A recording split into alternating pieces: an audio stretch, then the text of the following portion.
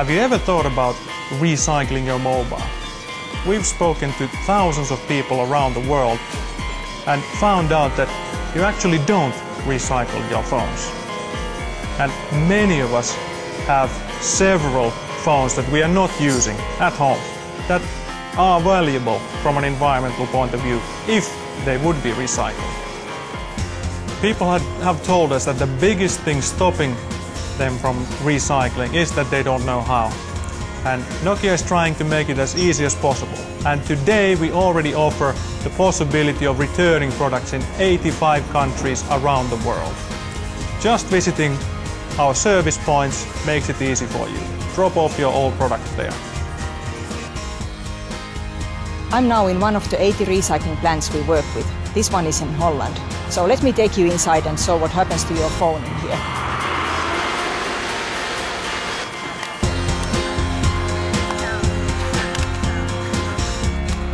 We are now in the hall where sorting takes place.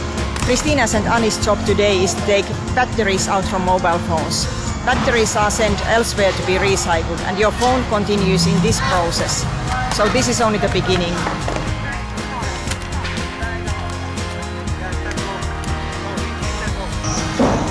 So batteries out and the next we are going to take different materials like copper, gold, platinum, palladium, aluminium, plastics. So let's see what happens. Goodbye phone.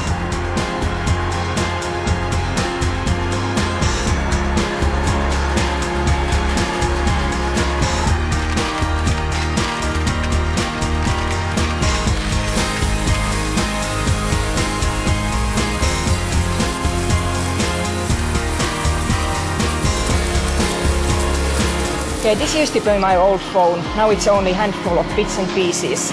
But imagine, imagine all the things you can do with these. Garden furniture, musical instruments, parts for bikes. List is endless.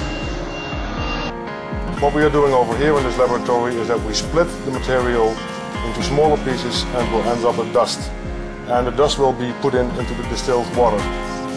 Uh, with this sample we can determine uh, all the precious metals and metals in this fraction. Um, so the gold, the palladium, the copper, all kinds of metals. Uh, the end fraction will be sent to a smelter who can uh, take out all these metals and precious metals for reuse again. We know because you have told us that recycling is very important from an environmental point of view. That's why we need to work together to bring more mobile phones back for responsible recycling.